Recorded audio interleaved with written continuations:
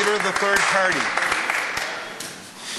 Monsieur le Président, pendant la période de questions de 27 octobre, j'ai mentionné de nombreux organismes qui opposaient à la privatisation de la gestion des services de santé offerts par l'extramural et j'ai demandé au ministre de la Santé s'il pouvait nommer quelqu'un qui était d'accord avec cette décision. Le ministre a dit que l'Association des infirmières et infirmières du Nouveau-Brunswick était d'accord. Pourtant, dans une lettre datée de 26 octobre adressée à la Coalition pour les droits des aînés et des résidents des foyers de soins, la présidente de l'association, euh, Karen Frenette, écrivait que l'Association des infirmières et infirmiers euh, n'avait pas encore pris position au sujet de la privatisation des services de santé. Est-ce que le ministre va admettre son erreur et donner l'heure juste sur cette question? Oui, euh, merci beaucoup, euh, Monsieur le Président. Je remercie le membre pour la question. Moi, ce que je peux vous dire, c'est qu'à l'annonce qu'il y a eu, euh, il me semble que c'est au 2 septembre ou, le, ou, le, 1er septembre, quand on a annoncé le partenariat avec Medavi, il y avait la présidente de l'Association des infirmières présente qui était en appui à ce partenariat, y compris aussi des représentants de la Société médicale du Nouveau-Brunswick le, chef du troisième parti peut bel et bien vérifier ça. Il va voir que c'était bel et bien le cas. Et puis, ce que je peux vous dire aussi, c'est que nous travaillons fort, nous sommes convaincus, et contrairement à ce que certains puissent prétendre, on parle ici de renforcer le système, de rendre le système plus accessible pour le patient du Nouveau-Brunswick. Parce que de ce côté de cette chambre, c'est la qualité de soins à chacun des patientes et patients du Nouveau-Brunswick qui prime. Et c'est ce qu'on va continuer de faire et nous sommes convaincus que ce partenariat va, va atteindre cet objectif et les gens auront des meilleurs soins de santé.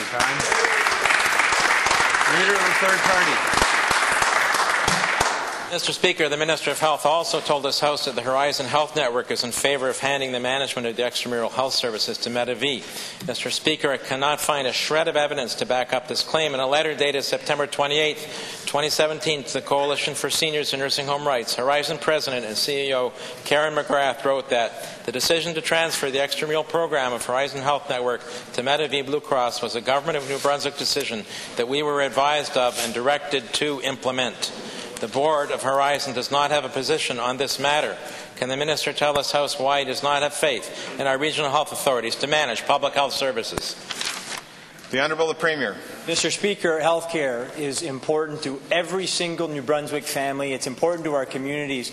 Et nous comprenons que c'est important d'assurer qu'on va avoir un système de soins de santé de haute qualité qui est accessible à toutes les familles du Nouveau-Brunswick. Alors, Monsieur le Président, c'est justement ça, comme gouvernement, que nous travaillons à faire. I have to take issue, though, with all the opposition and uh, the leader of the third party. Mr. Speaker, we want to work with the health authorities to deliver the best health care possible. But yes, Mr. Speaker, we won't always agree. And, Mr. Speaker, we have the Leader of the Opposition and the Opposition, when it suits them, saying to follow the health authorities, and when it doesn't suit them, to not follow. And now we have the member of the third party doing the same thing. You know what we're going to follow?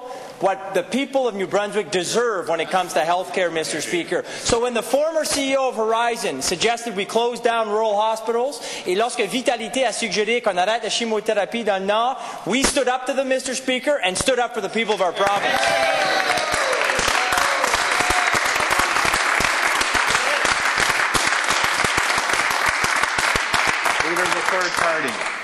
Mr. Speaker, Égalité Santé en français has launched a judicial review of the Minister of Health's decision to privatize the management of our extramural health services, asserting the Minister lacks the power to make such a decision under the Regional Health Authorities Act.